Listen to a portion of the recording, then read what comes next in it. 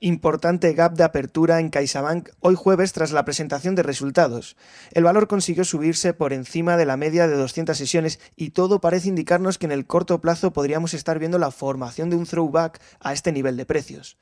Sin embargo, deberíamos esperar a que consiguiera superar los máximos alcanzados a comienzos del mes de abril en los 4,50 euros.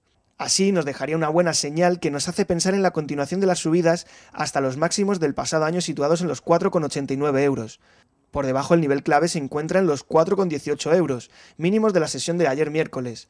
Solo apreciamos una complicación de su aspecto técnico con el abandono de este nivel de precios.